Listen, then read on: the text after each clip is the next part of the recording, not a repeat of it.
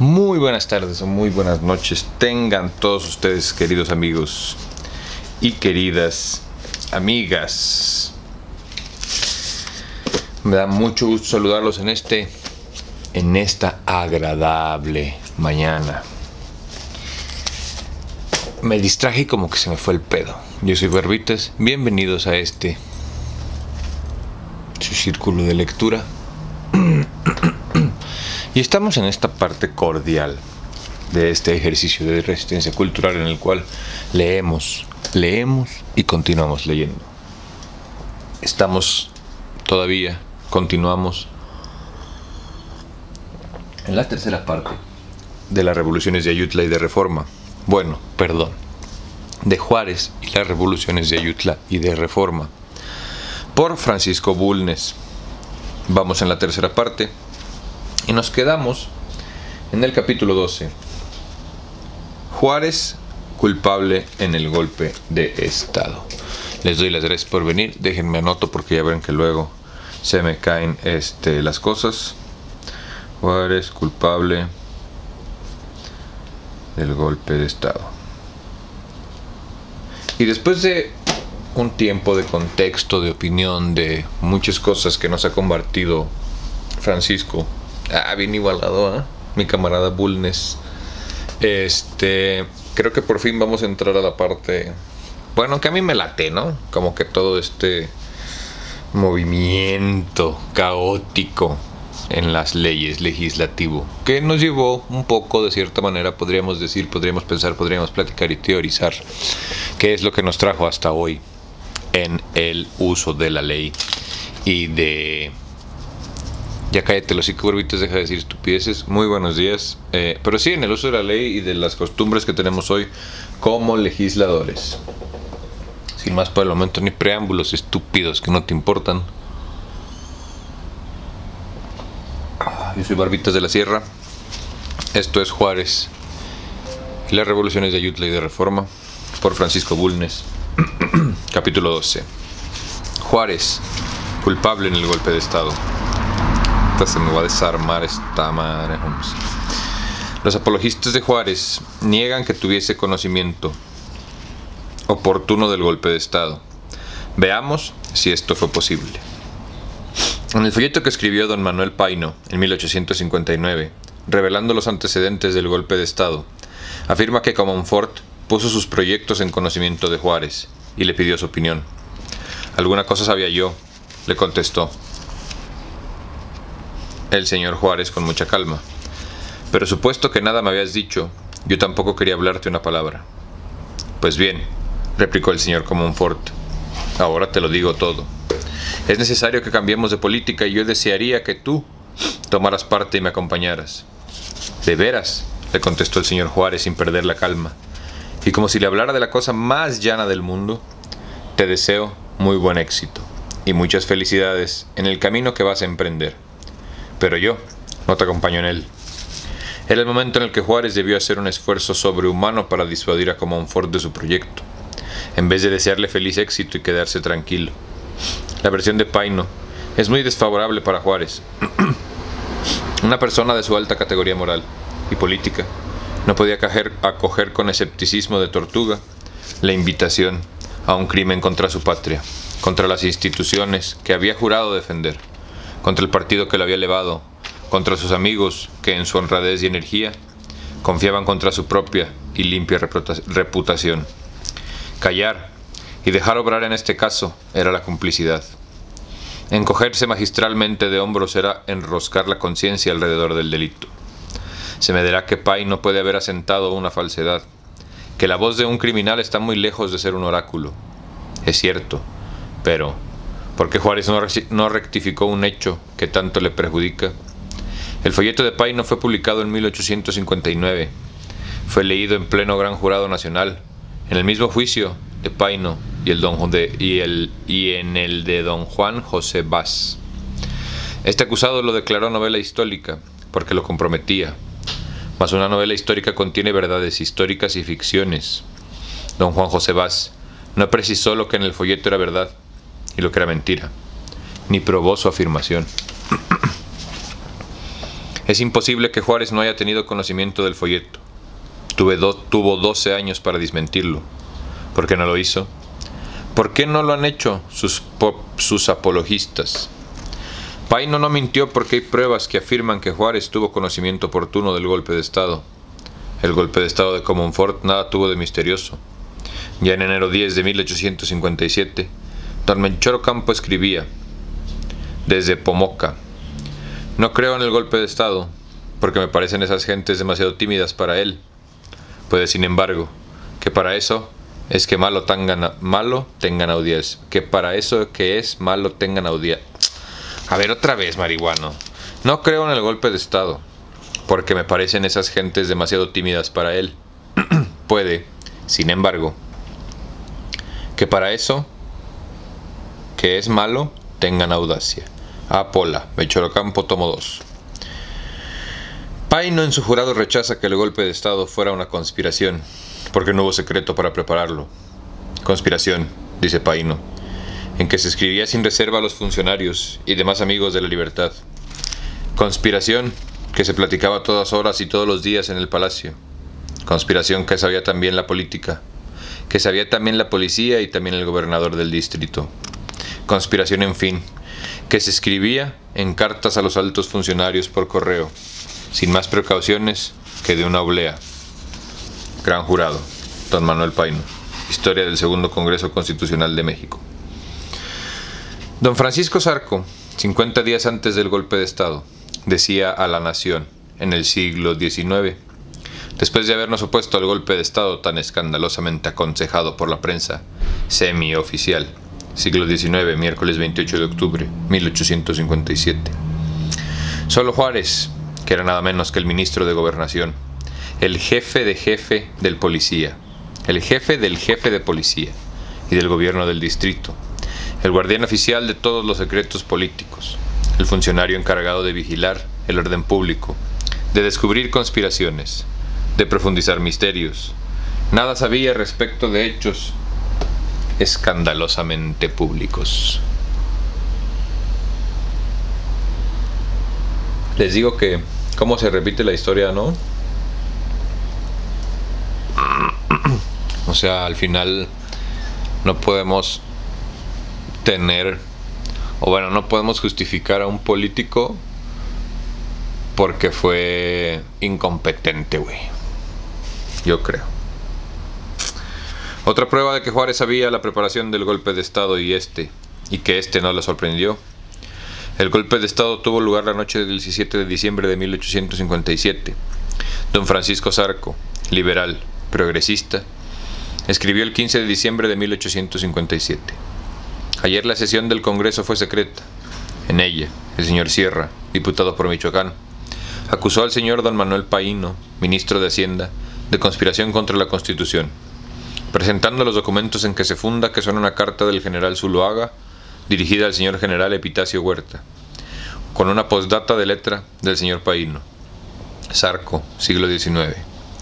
De manera que desde el mediodía del 14 de diciembre de 1857 se había leído en la Cámara una carta del jefe de las armas de la Ciudad de México, don Félix Zuluaga, invitando al general Huerta a pronunciarse, y Juárez, el ministro de Gobernación, jefe y amigo de toda la Diputación oaxaqueña, que oyó la lectura del documento de Zuluaga, nada sabía. Aparte viene... Eh, como con cuatro signos, signos. Siempre me ha gustado decir signos, aunque sé que está mal dicho. Déjame ver si puedo enfocar producción. como con cuatro signos de admiración, güey. Uno, dos, tres, nada sabía. Uno, dos, tres, signos de admiración.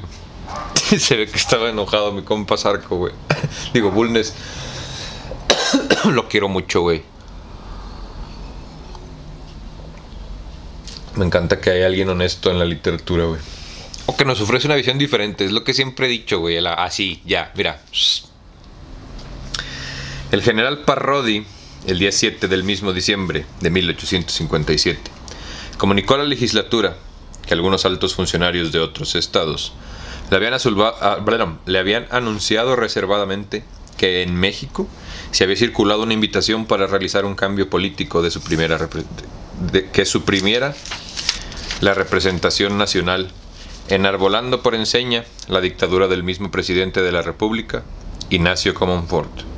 Manuel Cambre, La Guerra de Tres Años, página 3, 5, perdón. El día 7 de diciembre de 1857, Parrodi, gobernador de Jalisco, había recibido aviso de otros estados de que en México circulaba la invitación para un pronunciamiento. Para que Parrodi tuviera noticia el 7 de diciembre de tal invitación por conducto de altos funcionarios de otros estados, era preciso que esa invitación hubiera comenzado a circular en México en los últimos días de noviembre más tardar. Pero Juárez, el ministro de Gobernación, nada supo. La policía no pudo ver más una invitación pagada, pegada a sus narices. Una vez más, con signos de admiración. A las instancias ya indicadas del general Parrodi, al gobierno de la Unión, y a los gobernadores de los estados contestó el ministro de Gobernación, a cargo entonces del licenciado Benito Juárez.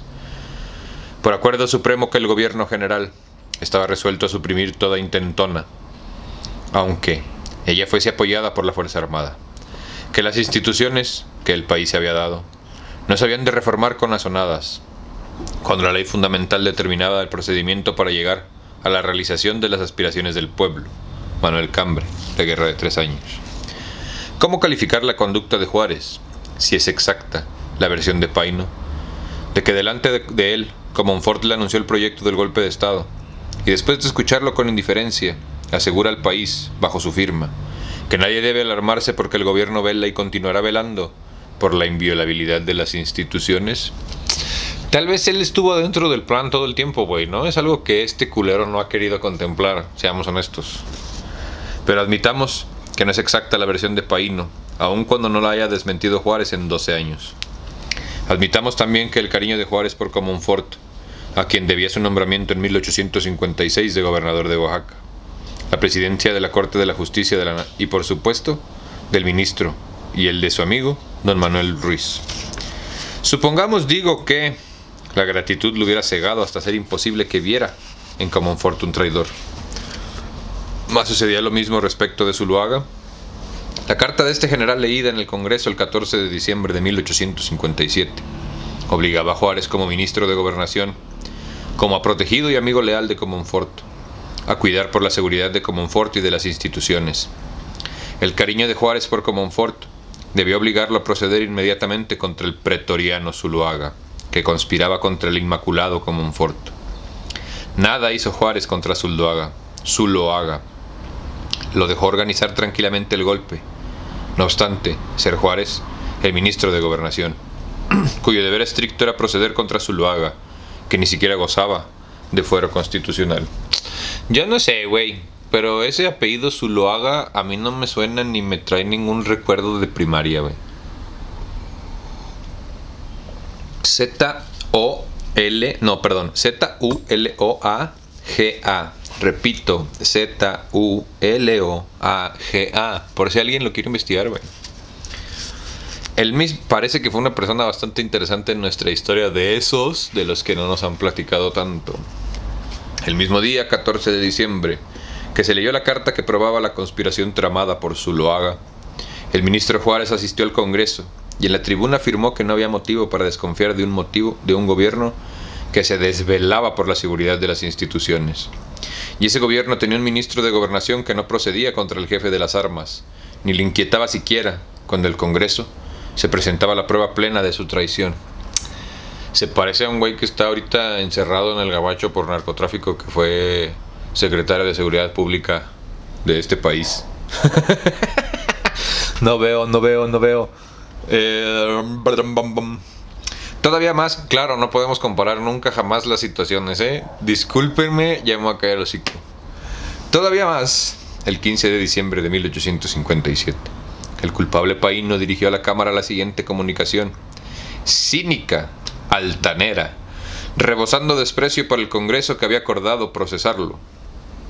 Comillas, con los datos que tenga la selección, con los datos que tenga la sección del gran jurado, le dice Paíno puede proceder como lo estime de justicia, manifestándole que yo solo soy el único responsable y que ni una sola palabra más tengo que contestar a la sección. Siglo XIX, diciembre 17 de 1857. Después que el ministro de Hacienda confiesa descaradamente su culpabilidad, Juárez continúa impasible, desempeñando el, el Ministerio de Gobernación. Todavía más, en la sesión del 16 de diciembre de 1857 del Congreso de la Unión, el señor Vaz, don Juan José, manifestó que debiendo ser esta la última sesión del Congreso, porque probablemente esta noche desaparecerá el actual orden de las cosas. Quería antes hacer una explicación para evitar toda clase de interpretaciones. Que, a consecuencia del viaje que se ha verificado en los últimos días, habían corrido varios rumores, hasta el grado de decirse que se había ido con las cantidades subcolectas para el rescate del señor Buenrostro, que esto lo había visto con desprecio, porque todo el mundo lo conocía y sabía su modo de pensar, pero que tratándose de un cambio, y no siendo él que el que habla adicto a la Constitución, y no siendo el que habla adicto a la Constitución, se veía en el caso de manifestar que él Nunca conspiraría en favor de la sotana y el bonete, porque nunca permitiría que estos individuos volvieran a ocupar las sillas del Congreso, ni rigieran los destinos de la nación, que él siempre conspiraría a favor del pueblo y de la libertad. Historia del primer Congreso Constitucional. Insisto, güey, todas estas palabras, ¿cuántas veces no las hemos escuchado ahora recientemente, güey? La historia se repite porque no la conocemos. Así que ayúdenme y pásenle esto a todos los hijoputas que conozcan. Por último, don Guillermo Prieto nos enseña, el señor general Alecerra era gobernador del distrito y su secretario don Manuel Romero Rubio se hizo centro de un partido de acción para frustrar los planes de Comonfort. Dispuesto fuerza, redactó un Dispuesto, dispuso fuerza, redactó un manifiesto a nombre de los que se oponían al Estado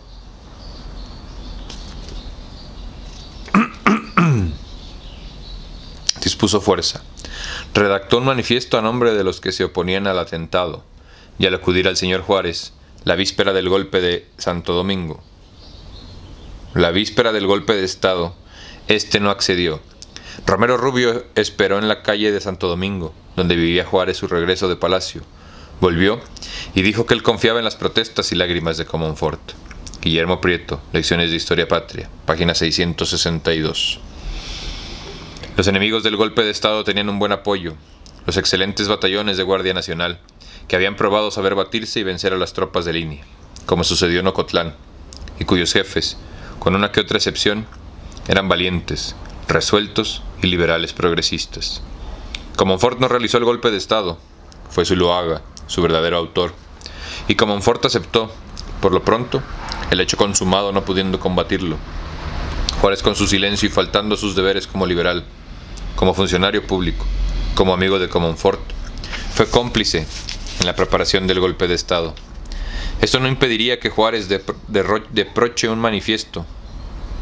Esto no impediría que Juárez reproche en un manifiesto la conducta de su protector, don Ignacio Comonfort, a quien debió todo lo que fue hasta 1858 y lo que fue después, pues sin la presidencia de la Suprema Corte de Justicia dada a Juárez, desconocido en el país por el Partido Moderado, no hubiera sido presidente del gobierno de Veracruz. Y hubiera muerto oscuro, como cualquier político vulgar de provincia. Chan, chan, chan. Ahora sí, güey, que empiecen los pelotazos. Cuarta parte. La revolución de la reforma. Capítulo 1. Continúa el Juárez de los nivelungos. Denme un segundo, déjenme buscar qué es eso de nivelungos. Muy bien, fíjense. Eh, nivelungo, N-I-B grande, E-L-U-N-G-O. Los Nibelungos son un pueblo mitológico de las leyendas germanas gobernado por el príncipe Nibelung eran enanos oscuros que vivían en las profundidades de la Tierra y se dedicaban a la extracción de metales preciosos, particularmente oros. Wikipedia.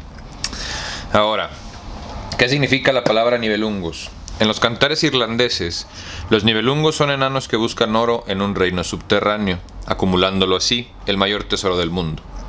El nombre nivelungo acude a la niebla, Nebel en alemán, lo que indica, lo que, indica que ese pueblo vivía en un lugar neblinoso o que sus pobladores eran gente de talante oscuro y misterioso. Ahora, también hay, eh, o a algunos tal vez les suene esta palabra, por el tema de el cantar de los nivelungos, que básicamente es una epopeya germánica, o sea, eh, ¿cómo te diré, güey? Como no, es que no hay nada hasta la fecha que se haya considerado. Bueno, sí, güey, pero no quiero hablar mal ni de más. Eh, pero rápido, rápido, rápido. El cantar de los nivelungos, según Wikipedia, que es lo más rápido que podemos encontrar así ahorita. Eh, el cantar de los nivelungos en alemán, en alemán, Nibelungenlied. Perdónenme a todos los camaradas si no lo pronuncié bien. Es un cantar de gesta de origen germánico, escrito alrededor del siglo XIII, en la plena Edad Media. Esta obra reúne muchas de las leyendas existentes sobre los pueblos germánicos, mezcladas con hechos históricos y creencias mitológicas, y por la profundidad de su contenido, complejidad y variedad de personajes. Se convirtió en la epopeya nacional alemana con la misma jerarquía literaria del Cantar del Mio Cid en España, en Cantar del Roldán en Francia el manuscrito del cantar que se, que se conserva en la Biblioteca Estatal de Baviera fue inscrito en el programa Memoria del Mundo de la UNESCO en el 2009, como reconocimiento a su significación histórica. Eh,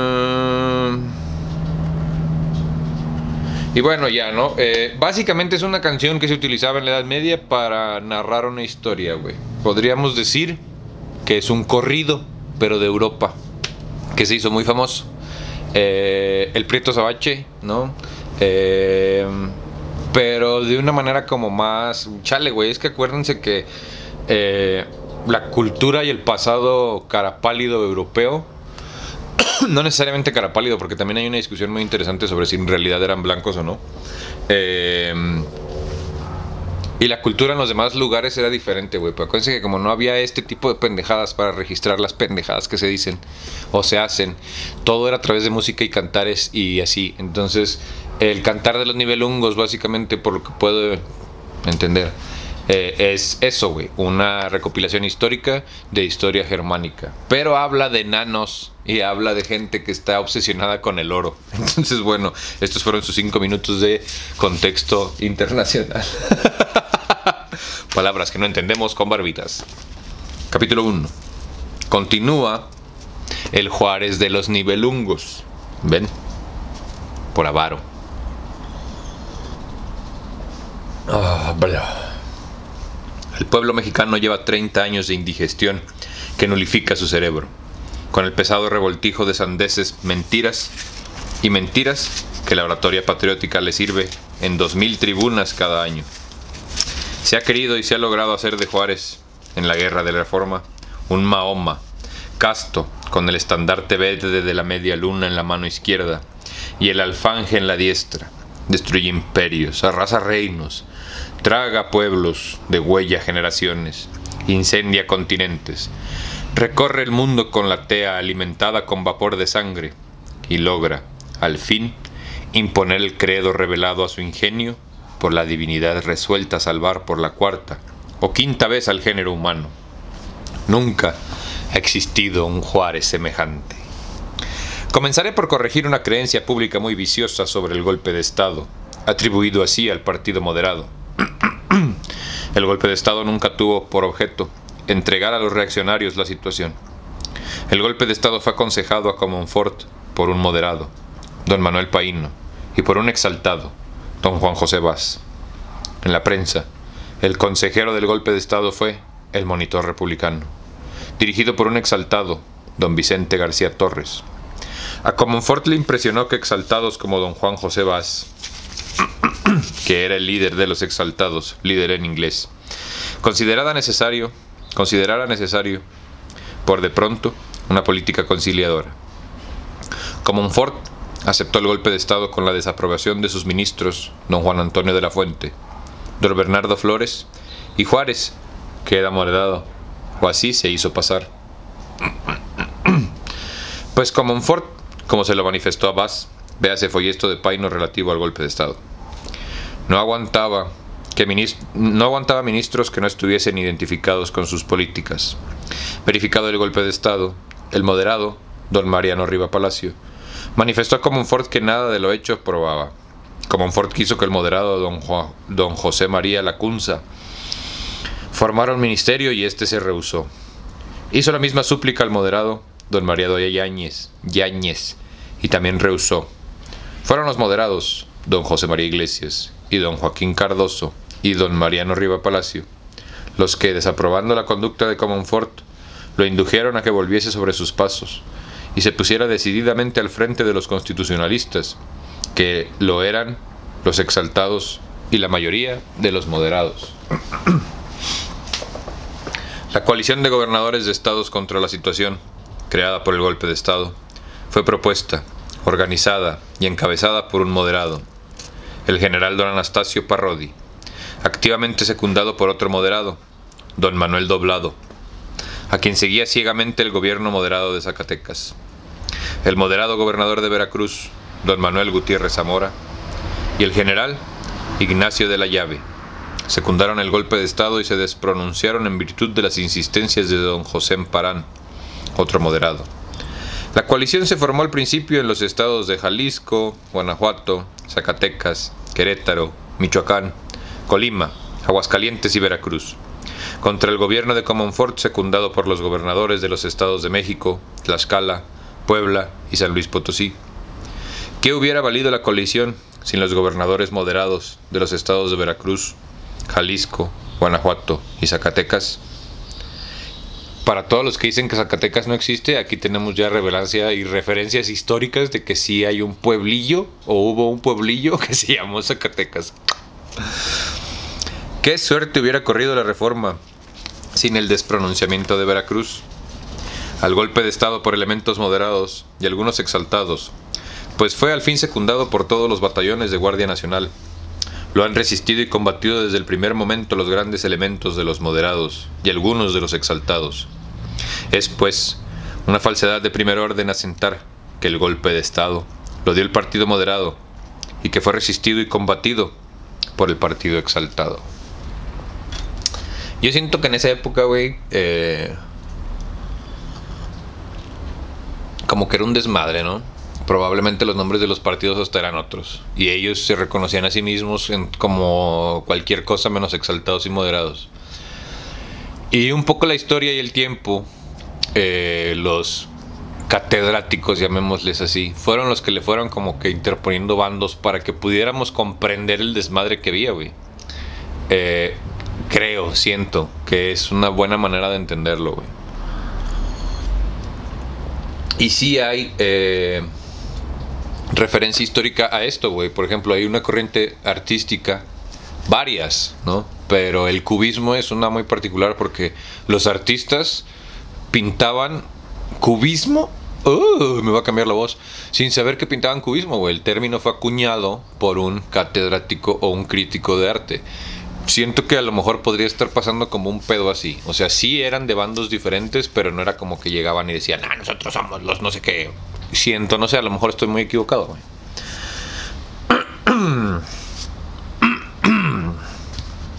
Juárez, en enero de 1858, era siempre el moderado católico, sencillo de Oaxaca. Eso se me hace tan irónico, güey. O sea, ¿cómo puedes ser de Oaxaca y ser católico, si me entiendes? ¿Cómo puedes profesar una religión que le ha hecho tanto daño a tu pueblo? En fin, esa es mi opinión. Comonfort, antes de dar el golpe de Estado, quiso abandonar la presidencia de la República y entregar la situación a Juárez.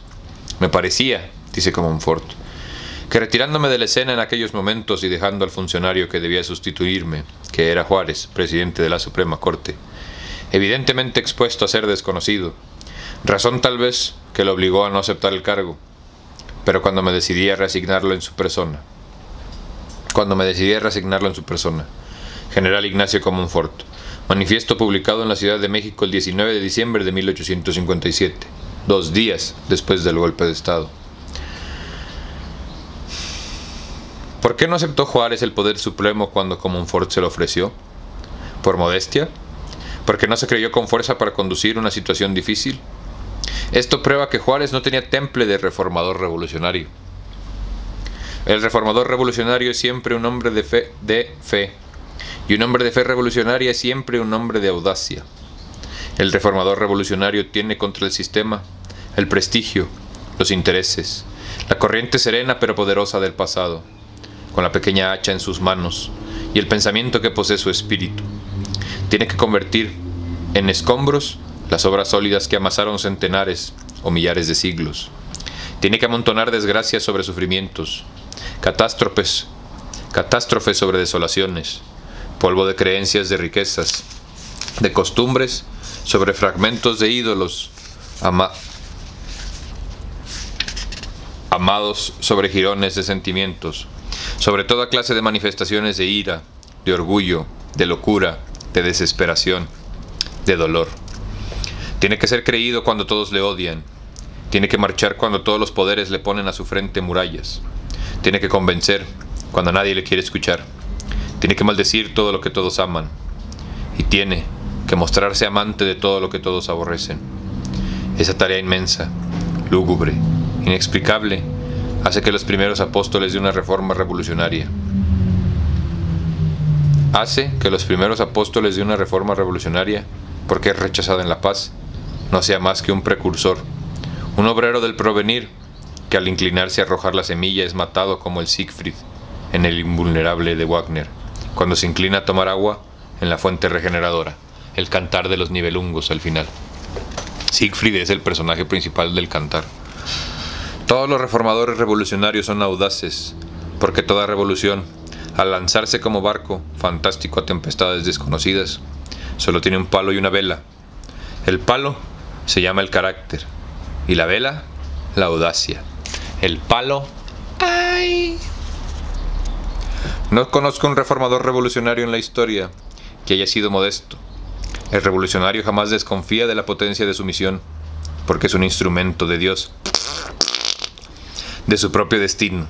Lo guía siempre una estrella, lo dirige una voz siempre imponente, lo deslumbra una luz que resiste a todos los soplos, lo sostiene un, un volcán que le hará perecer, pero que arrasará también con toda la tradición enemiga de su causa.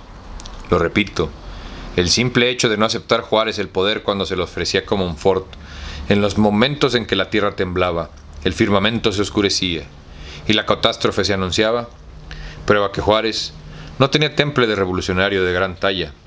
Para el verdadero revolucionario, su esperanza está escrita en el cataclismo, al verlo aproximar, siente la voluptuosidad de un sibaritismo de tragedia.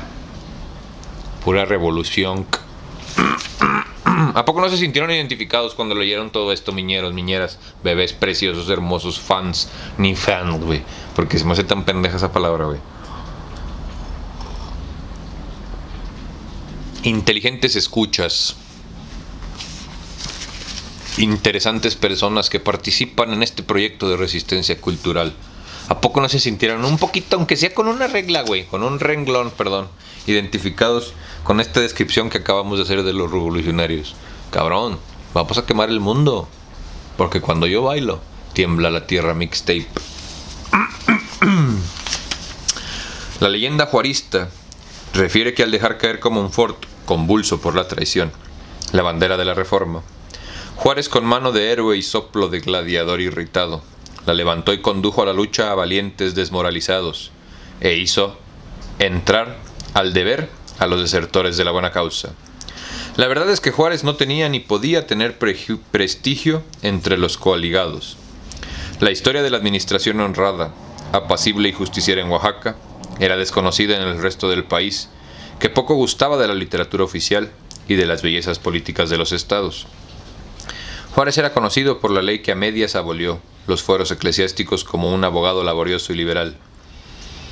Su elección de presidente de la Suprema Corte, debido al partido moderado, lo hacía conocer como un íntimo amigo de Comonfort, y su conducta en el golpe de Estado no podía darle prestigio, desde el momento en el que nada hizo para evitar, ni para denunciarlo, ni para combatirlo. Parrodi, por el contrario, había prestado grandes servicios a la causa liberal como político y como soldado. Parrodi había mandado en el jefe a la primera división de la batalla de Ocotlán y había decidido por su valor y habilidad profesional y la había decidido por su valor y la habilidad profesional. Parrodi se había lanzado contra los pronunciados de San Luis, que aparecieron temibles. Los había dispersado, perseguido. Se había mostrado hábil en la Magdalena. Había vencido al temible Osoyo y lo había hecho prisionero.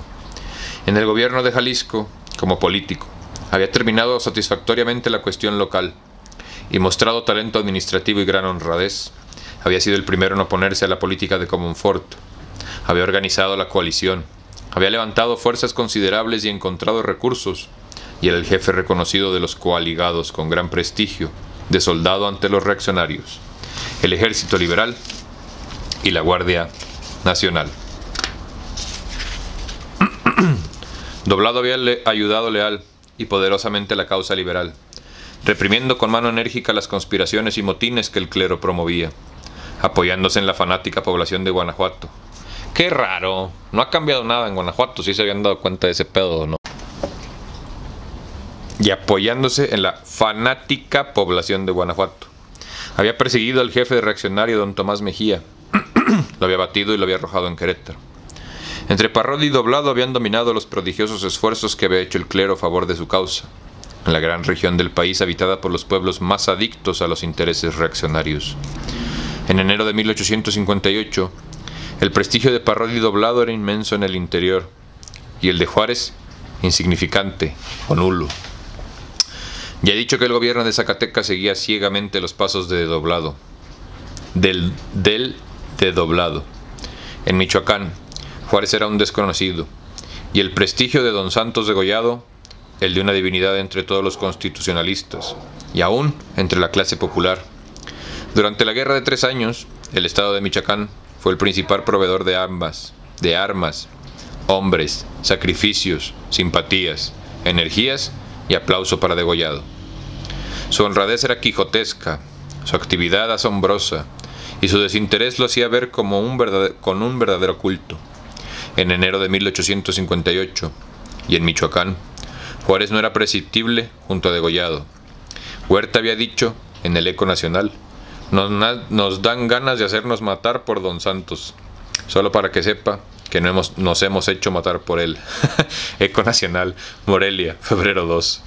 Esto es fanatismo admirable de gran revolución. La neta sí, güey.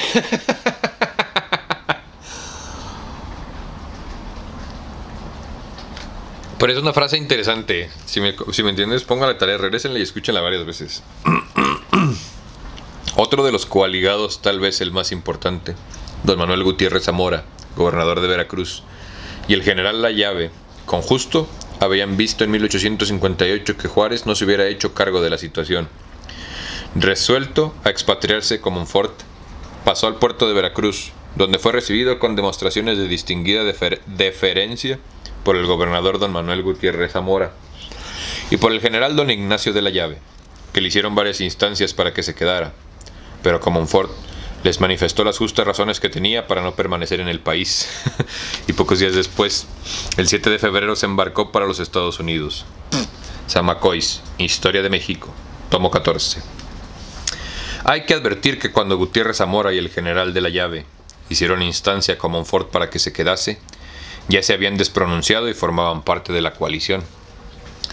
Cuando Juárez llegó a Veracruz para establecer un gobierno después de dejar casi aniquilada la causa liberal en el occidente de la República, el gobernador, el gobernador Gutiérrez Zamora le hizo entender muy claramente que no creyera que con su presencia iba a alentar a los defensores de la plaza, ni a moralizarlos, ni a servirles de cosa alguna, pues contaban con bastantes elementos morales y materiales para llenar debidamente sus deberes.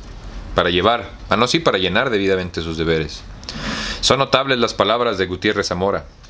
El Estado de Veracruz felicita a vuestra excelencia por su llegada en unión de los distinguidos ciudadanos que, se, que componen su gabinete. Yo no podría decir, sin agravio de los defensores de esta plaza, que la presencia del primer magistrado de la nación reanimará su valor. Están entre ellos los que en Oaxaca los que en Cruz Blanca hicieron temblar al enemigo y ninguno de los permanentes y guardias nacionales que los esperan en estos muros ha necesitado otro estímulo para resolverse, a no trasingir con la reacción que el deber y el amor a la libertad. Pero siendo vuestra, vuestra excelencia el testigo de su conducta, será mayor el placer de todos en el combate que se anuncia. Discurso del gobernador Gutiérrez Zamora al recibir al presidente Juárez en Veracruz el 4 de mayo de 1858. Cuando lo hicieron presidente, güey, me perdí. La neta, como que no puse atención. El papel de testigo, no de caudillo ni de tiriteo, ni de jefe, fue asignado a Juárez por los defensores de Veracruz, lo que prueba que para ellos poco o nada significaba la presencia de Juárez en la plaza o en cualquier otro lugar. La actual generación mexicana no tiene idea del orgullo de los liberales en aquella época, profundamente indisciplinados porque confundían la disciplina política con la abyección, y por su horror a hombres y darles un valor excesivo que deprimiera su dignidad. El antroformismo juarista jacobino es moderno. Don Mechero Campo escribía con su humor altivo, como un ateniense de la epopeya helénica. Pero yo digo a mi turno que los liberales no gustamos de jefes de partido, que cualquiera de nosotros es, en la ocasión dada puede ser el representante de una o muchas de nuestras ideas de progreso, y que la cita misma del periódico, si fuera exacta, probaría que posponemos a toda persona a la idea. Melchor Campo, obras completas. A Pola, tomo 2. A, a, los coaligados les importaba un bledo que Juárez se pusiese frente de la situación, o que se fuera a su casa. Gutiérrez Zamora, Doblado, Parrodio, Degollado, tenían más representación militar, política, financiera, por la importancia de los estados que gobernaban y por sus cualidades personales que Juárez, sin más prestigio que el que le daba la ley. Los coaligados veían en Juárez al presidente de la Corte de Justicia y les era indiferente que su nombre fuera Juárez, Velázquez o Aguado. Los demás estados con sus elementos formarían otra coalición que se uniría a la primera, estableciéndose como base presencial que en cualquier punto de la República que se presentara el presidente de la Suprema Corte, el licenciado Benito Juárez, se le reconocería obedeciéndolo todos los estados coaligados como presidente interino de la República. Ah, ya ven, no era que no hubiera puesto atención. Y que cada uno de los mismos estados había de nombrar un representante que viniese a la capital de Jalisco, a fin de reunirnos todos, ejercieran facultades propias del Congreso de la Unión, mientras éste podía ejercerlas.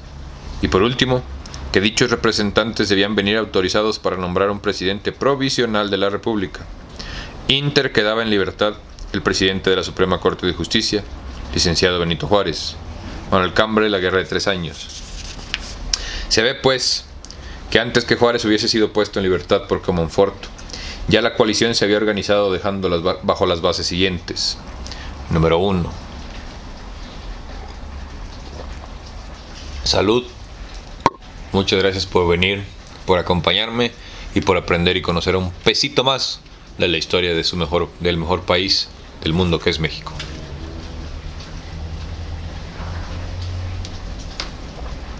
Número uno, reconocer a Juárez como presidente de la República, pero no como caudillo, no como dictador, sino sujeto ilimitado a una asamblea formada por un representante de cada estado, coaligado, que funcionaría como Congreso de la Unión. Entre tanto, este podía reunirse. La coalición no daba facultades extraordinarias de ninguna clase a Juárez, y como según la Constitución de 1857 del Congreso es omnipotente, Juárez, para los estados coaligados, no debía ser más que un sirviente incondicional de su voluntad, posición muy distinta de la de un caudillo o jefe reformista. Número 2. Los representantes de los estados coaligados deberían de estar autorizados para nombrar un presidente de la República Provisional, mientras Juárez quedaba en libertad, lo que prueba que en concepto de los coaligados la personalidad de Juárez no les era indispensable, y que estaban resueltos a obrar y a tener presidente, aun cuando Juárez no fuera puesto en libertad o no quisiera aceptar su cargo en la nueva administración. La bandera que dejó caer como un fort convulso por la traición la recogieron los estados. Juárez, para ellos, no era necesario, y solo debía ser su muy humilde servidor. Papel que reforme a la Constitución corresponde al presidente de la República. Ah, ah caray. Me equivoqué de separador. Vamos en el que dejó alguien más en la, en la libroteca. Muy bien.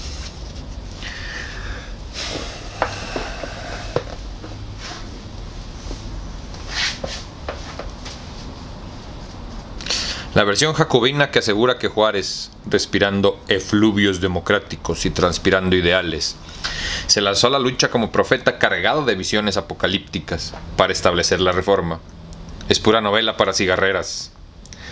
Juárez con mucha calma y sensatez aceptó todas las bases de la coalición que en realidad lo, nulificaban. Tenía la convicción de que duraría muy poco en el puesto de presidente. Perdón. En consecuencia, Nada serio ni trascendente pudo proyectar. Él mismo nos lo dice el 19 de enero de, 1900, de 1858, llamado a este difícil puesto por un precepto constitucional, y no por el favor de las, fracción, de las facciones, de las facciones. Procuraré en el corto periodo de mi administración, Juárez, Manifiesto a la Nación, 19 de enero de 1858.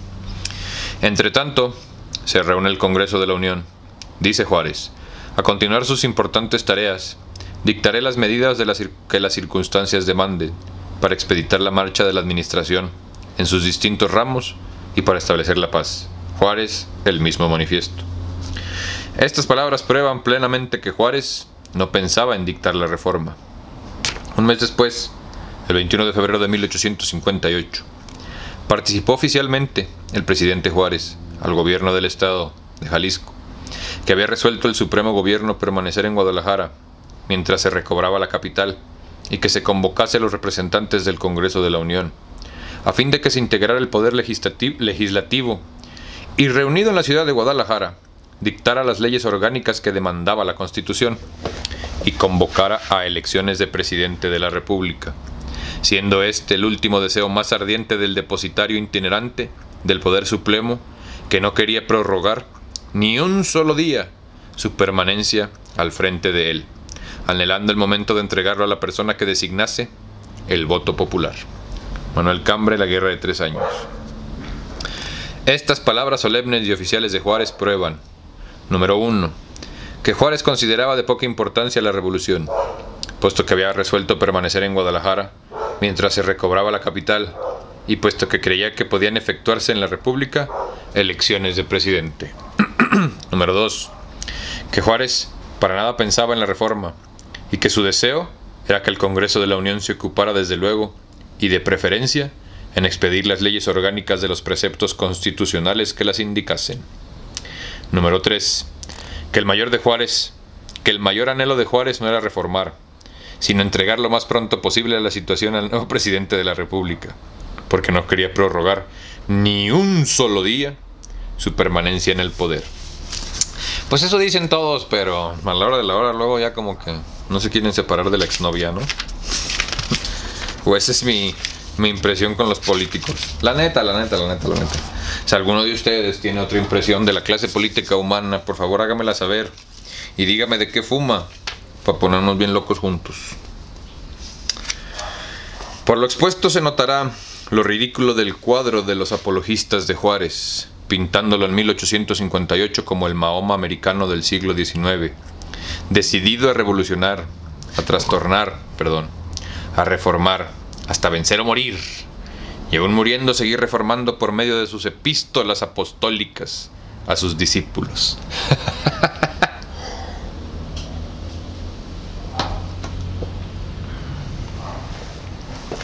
Lo que menos tenía Juárez era temple reformador y revolucionario como lo prueba el hecho de que cuando tuvo delante una buena revolución y materiales ya inflamados para producir el incendio de su época, como sol del porvenir, lo que anhelaba su conciencia modesta y su índole de magistrado era soltar cuanto antes la pesada carga en una cabeza extenta de ambición, de sombríos ideales, de ensueños terrificantes, de deseos, de sacudimientos sociales profundos y desquiciadores del paso nacional. Después de la derrota de Parrodi en Salamanca y el pronunciamiento del Landa en Guadalajara, Juárez no encontraba tan fácil vencer a la reacción, pero tenía fe, no en el establecimiento de una reforma, sino en vencer a los enemigos del pueblo y en establecer la paz. En sus frases se encuentra el espíritu religioso de Oaxaca. Las personas, dice, a quienes Dios ha impuesto por hoy el deber de representar vuestra voluntad en el sendero de la ley. Juárez, manifiesto a la nación en la ciudad de Guadalajara, marzo 16 de 1858. Dios es el caudillo de las conquistas de la civilización. Levantamos nuestros votos de gratitud por su triunfo, nuestras sinceras bendiciones de la providencia. ¿Qué no se supone que el güey había abolido? Ah, ya cállate, güey. Juárez, Manifiesto a la Nación, marzo 17, 1858. Cuando Juárez embarca en Manzanillo para ir a Veracruz por la vía de Panamá, deja degollado al peso de la situación en el occidente de la República. Este general, en su proclama, no anuncia que su estandarte es o será el de la reforma, sino el de un demócrata leal que hará lo que el pueblo quiera, aun cuando sea que se deponga las armas. El ejército federal, dice Degollado, no impone sus opiniones políticas a los pueblos, sigue la senda que se le traza su deber. Y protesta, por mi boca, y acatar en todo el tiempo la voluntad de la mayoría de los mexicanos. Si ella le manda rendir sus armas, las entregará resignado y sumiso. Que me cambre la guerra de tres años. Cuando Juárez en mayo de 1858 apareció en Veracruz, no anunció que su misión era restablecer la reforma. Sus palabras fueron, agradezco la felicitación que vuestra excelencia dirige al primer magistrado de la República por su arribo a esta heroica ciudad, donde se defiende la constitución del país y los derechos del pueblo. El programa de los enemigos del plan de Tacubaya era constitucionalista. No pensaban en 1858 en proclamar nuevas reformas. El 10 de marzo de 1858, al lado oriental de la población de Salamanca, 5.400 reaccionarios mandados por el general Osoyo derrotaron al ejército de la coalición, muy mal mandado por Parrodi, pudiéndose retirar este jefe con 2.800 hombres y 18 piezas de artillería. Al tener Juárez en Guadalajara, noticia de la derrota del ejército de la coalición, de la manera más triste, pues no hubo rasgo más, pues no hubo más rasgo de valor que la carga de caballería del coronel José María Calderón, que fue abandonado en el ataque por la cobardía de sus compañeros. Dispuso se reuniesen sus ministros para tomar resoluciones prontas en tan crítica situación. Fíjate, apenas en todo lo que llevamos de este libro de historia, ¿se acuerdan que hace poco comentaba yo que hay ciertos apellidos que en uno de Porfirio Díaz se repiten un chorro y en estos de Juárez y acá no? Bueno, pues adivinen qué apellido acaba de aparecer. Reunióse la Junta y el ministro don Guillermo Prieto. Había salido de la pieza donde se celebraba la reunión, cuando parte del quinto batallón de infantería que mandaba el coronel don Antonio Landa, y que había pronunciado a favor de la reacción, se vio gritando mueras al gobierno en la escalera del palacio, e hizo prisionero a Juárez y a los ministros que con él estaban, don Menichero Campo, don Manuel Ruiz, y don León Guzmán. Don Guillermo Prieto, que no había caído en el poder de los rebeldes, en vez de ocultarse o huir, que bien pudo hacerlo, se presentó también preso, manifestando que decía correr la suerte de sus compañeros. Esa mamada. La Guardia Nacional, brava y lealmente, se esmeró en cumplir con su deber y decidió batir a los pretorianos del ejército permanente. El pretoriano Landa se encontró aislado en el Palacio de Guadalajara, recibiendo un fuego muy nutrido de los puntos que ocupaba la Guardia Nacional y en la imposibilidad de adquirir víveres. En estas condiciones, Landa ofreció a Juárez la vida, lo mismo que a sus compañeros. Si daba orden para que cesara el fuego, Juárez rehusó dar dicha hombre, orden y aceptó dar una recomendación para el gobernador del estado, con el objeto de establecer un armisticio a fin de procurar un avenimiento que ahorre la parte pacífica de la población los males que el combate ocasiona. Ministro de la Guerra al gobernador Jesús Camarena marzo 14 de 1858. Convenido el armisticio, reunidos los comisionados de ambas partes, discutidas y aprobadas las bases del arreglo, se iba a firmar este bajo la base de inmediata libertad, que bajo la base de la inmediata libertad de Juárez y sus ministros. Cuando el ruido de un combate rudo, sorprendiendo a los comisionados, los obligó a interrumpir su obra.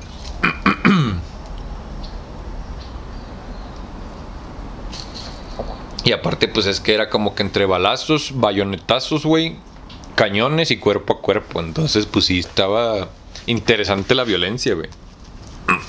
El oficial que iba a ejecutar la orden bárbara con 20 hombres. Me quiere, no me quiere. Me quiere, no me quiere. Lo voy a tener que llevar a restaurar este güey después de...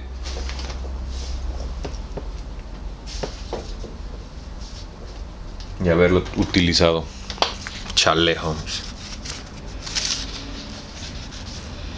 Hmm, convenido el armisticio, reunidos los comisionados de ambas partes, discutidas y aprobadas las bases del arreglo, se iba a firmar este... Ah, perdón, ya habla. El teniente coronel de la Guardia Nacional, don Miguel Cruz Aedo, sin tener conocimiento del armisticio, discurrió salvar a Juárez y a sus ministros sin consultar a sus superiores, por medio de un golpe atrevido contra la guardia del palacio. Esta tuvo tiempo de contener a los acertantes y de cerrar las puertas, defendiéndose con vigor y determinando la defensa del palacio por toda su guarnición. El capitán, don Encarnación Peraza, que custodiaba a los prisioneros, no se sabe si con orden anticipada del pretoriano Landa o sin ella, mandó a su subalterno don Filomeno Blavo que fusilara a Juárez y a sus ministros inmediatamente. El oficial que iba a ejecutar la orden bárbara, con veinte hombres, entró al salón e hizo formar a la tropa frente al grupo de prisioneros. Cuando estos vieron que se trataba de sacrificarlos, se refugiaron en las piezas inmediatamente. Se refugiaron en las piezas inmediatas, quedando Juárez en pie, bajo el dintel de una puerta, sin manifestar temor delante de los soldados, que a voces de mando preparaban los fusiles y le apuntaban. Entretanto, Guillermo Prieto, que lo más serio del peligro se había alocado al lado de Juárez, hablaba al oficial y a los soldados con elocuencia vallazadora, intimidándolos intimidándoles la enormidad del atentado que iban a cometer, y que no podían consumar unos valientes como ellos. Guillermo Prieto, al hablar, cubría al presidente con su cuerpo. El oficial se detuvo, no dio la voz de fuego, comprendiendo la insuficiencia de la orden para cubrir la inmensa responsabilidad de llevar a cabo aquel acto, y dominado por la palabra del ministro y poeta patriótico, ordenó a los soldados que levantaran y desmontaran los fusiles, y salió con ellos del salón para formar con ellos en el corredor, donde permaneció hasta que los asaltantes se retiraron del palacio. Manuel Cambre, la guerra de tres años. Satisfecho Juárez con tan inesperada como molesta aventura, y no teniendo la intención de correr peligros, sino la de poner a salvo la legalidad que residía en su persona, determinó dejar la zona revolucionaria, peligrosa, y retirarse a regiones más dulces y serenas, capaces de garantizar la existencia tranquila y plácida de la legalidad. El día 20, a la madrugada, salió Juárez con su séquito, por el mismo camino que la víspera había tomado Rocha, escoltando al presidente 80 hombres de la Guardia Municipal de México, al mando del general Francisco Inestra. Vencida la primera jornada en Santa Ana, Acatlán, cuando Juárez acababa de alojarse en el mesón del pueblo, se presenta Landa que había dejado libre el paso de la columna de Rocha y comienza a atacar a la escolta, que tomó posiciones en las alturas de la iglesia, del mesón y de casi inmediatos. Rompes el fuego logrando rechazar por tres veces a los asaltantes, dirigiéndose en la defensa. El capitán de ingenieros, Leandro Valle, que fungía como ayudante de Inestra. Iniestra. Continuaba el fuego y el general Iniestra hizo presente a Juárez que si en el enemigo, que si el enemigo emprendía de nuevo ataque, era posible que tomaran la posición y ponían en su conocimiento de en la inteligencia de que él cumpliría con su deber hasta la muerte, y a fin de que si lo creía conveniente, pensara en salvarse ocultándose, y de que se sirviera darle sus órdenes que exigían que serían exactamente cumplidas.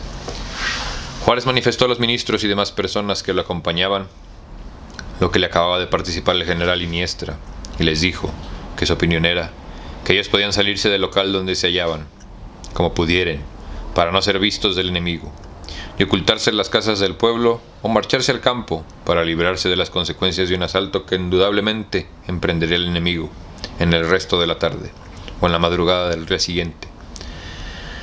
Que él se quedaba a seguir la suerte de la fuerza y que en medio de la salvación que les indicaba no era indecoroso, porque no ejerciendo ellos mando alguno militar en aquellos momentos, ni siendo nombrados para permanecer constantemente a su lado, en situación que nada podía despecharse de los ramos del gobierno. No tenían el mismo deber estrecho que él de permanecer en su puesto en aquellas circunstancias. Todos contestaron de un modo enérgico y resuelto, que no aceptaban la indicación, que cualquiera que fuese la suerte que les tocara, cualquiera que fuese la suerte que les tocara. El presidente les dio las gracias y dispuso que si en el resto de la tarde no sufrían el asalto, aprovecharían la, noche, para romper el sitio único medio de salvación que había. Se comunicó la determinación a Inestra. No se intentó el asalto por los pronunciados, y el presidente y su comitiva emprendieron la marcha, todos a caballo, a las 11 de la noche en dirección a Socoalco, Zacualco, continuando sucesivamente por Sayula y Ciudad Guzmán. Llegaron a Colima sin otra novedad. Manuel Cambre, la guerra de tres años. Cuando Juárez embarca en Manzanillo para ir a Veracruz y dejar a degollado la tarea inmensa de luchar contra el enemigo poderoso. Después de su triunfo en Salamanca, después de la capitulación de Parrodi en San Pedro Tlaquepaque y de la capitulación de Doblado en Romita, por las que ambos entregan cerca de 3.000 hombres armados y equipados, el gran papel corresponde a Degollado. En efecto, Juárez se dirige a una plaza marítima fortificada y muy bien artillada, que no admite sitios porque los reaccionarios no tienen marina. En cambio, Degollado no cuenta más que con la desorganización, el vacío que causa el pánico, las defacciones por todas partes, la traición como primer enemigo. Juárez va a la residencia del gobierno de un estado rico y el primer puerto de la República, productor de los más cuantiosos recursos fiscales. Degollado no cuenta más que con la dificultad de vivir sobre un país ya conquistado por el enemigo. Juárez va a ser el bienvenido de una población como la de Veracruz, ilustrada, hospitalaria, liberal, entusiasta por su soberanía. Degollado será el reprobo de las poblaciones más fanáticas y más subyugadas por el clero en el máximo de su cólera. Juárez va a establecer su gobierno, es decir, oficinas, Degollado debe levantar batallones con las manos vacías y tiene que alimentarlos sin desesperar a los pueblos que extorsione. Juárez tenía el mar como retirada segura. Degollado tenía todo el país como cadalso casi evidente. Degollado va a luchar, a presentar su pecho a las balas, su salud a las interperies, sus músculos al hambre, su alma a una angustia infinita, su pensamiento al insomnio impacable, sus esperanzas a las traiciones y sus tropas que no podrán ser más que chusmas, al ímpetu de los brillantes generales reaccionarios. En cambio, Juárez vivirá con todas las comunidades de un burgués rico, perezoso, digestor de crustáceos y chirismillos. Y en caso de que la plaza de Veracruz fuese bombardeada, él, con sus íntimos, se refugiará en las solas casamatas de San Juan de Ulúa, sin riesgo de perder ni un solo cabello. Degollado se queda con la responsabilidad de la revolución. Juárez solo tiene la tarea de no traicionar y esperar. Se necesita que el politiqueo haga perder a muchos mexicanos el sentido moral para no distinguir la diferencia de entre la diferencia de tallas entre Degollado y Juárez, cuando éste abandona el puesto de mayor peligro para ir al que casi no lo tiene. Si esta generación falta su deber, la futura habrá justicia. Insisto, ¿cómo se parecen las cosas? Vamos a ponerlo en contexto contemporáneo. Eh, se necesita que el politiqueo haga perder a muchos mexicanos el sentido moral para no distinguir la diferencia de tallas entre los politicuchos que tenemos hoy. ¿O estoy equivocado? Corríjanme, güey. Cállenme la boca, neta, neta, neta. Díganme que estoy equivocado, güey. Atrévanse. La preocupación constante de Juárez era conservar intacta su legalidad, más cuando llegó a Veracruz el 4 de mayo de 1858. La legalidad de Juárez era una farsa convencional, y los reaccionarios tuvieron razón en negársela. Juárez se titulaba pomposamente Gobierno Constitucional. La Constitución de 1857 decía y dice que el pueblo mexicano ejerce su soberanía solo por medio de los poderes federales y de los estados. No necesitaba decir tal cosa la Constitución, Bastaba que dijera que el pueblo mexicano se constituye en democracia representativa federal, para que el pueblo solo debe ejercer su soberanía por medio de los poderes federales y de los estados. De aquí se deduce que cuando quedan destruidos la mayoría de los poderes de los estados y la mayoría de los poderes federales, ya el pueblo no puede ejercer su soberanía conforme a la Constitución. Cuando Juárez llegó a Veracruz, la mayoría de los poderes federales y de los estados no existían. Luego, no podía representar un gobierno constitucional. La Constitución no lo prescribe, pero se ha aceptado que el Congreso de la Unión pueda suspender totalmente la vigencia de la Constitución y para entregar todo el poder nacional, federal y de los estados en manos de un dictador. En este caso, El dictador es constitucional. Su gobierno tiene derecho a llamarse constitucional. Las facultades, las facultades extraordinarias concedidas al presidente Comonfort en octubre de 1857, que eran las únicas que poseía, no suspendían la vigencia de la Constitución, no establecían la dictadura, no autorizaban, en manera alguna, a que una vez aniquilados por la reacción o disueltos los poderes federales y de los estados, subsistiera con vida constitucional el presidente de la República. La misma Constitución en su artículo 128 admite que puede quedar definitivamente suspendida por una revolución sin que nadie la represente constitucionalmente. Es error grave de la Constitución no haber previsto el caso, sobre todo en un país revolucionario.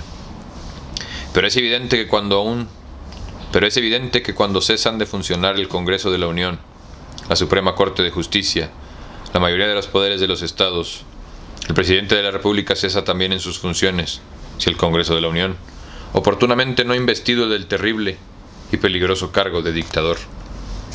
Conforme a estas verdades de derecho constitucional, desde que Comonfort dio el golpe de Estado el 17 de diciembre de 1857, disolviendo el Congreso, Juárez no pudo tener facultades para gobernar sin Congreso, porque Comonfort, a quien sustituía, no las tenía. Mas aún aceptando que las facultades que el Congreso dio a Comonfort en octubre de 1857 hubieran sido suficientes para crear su dictadura, estas facultades terminaban el 30 de abril de 1858. Por consiguiente, el 4 de mayo de 1858, día que Juárez apareció en Veracruz, no era más que un usurpador del título del gobierno constitucional. Juárez no representaba entonces más que un gobierno revolucionario, sin más facultades que las de la fuerza, frente a otro gobierno revolucionario, representado por las armas de la reacción, por todo derecho. Es necesario fijarse bien la falsa legalidad de Juárez para apreciar correctamente algunos sucesos importantes de que debo ocuparme en el curso de este estudio. Ay, güey, me cae de madres que se está poniendo bien bueno. Muchísimas gracias por venir. Yo soy Barbitas, los quiero mucho. Nos vemos pronto.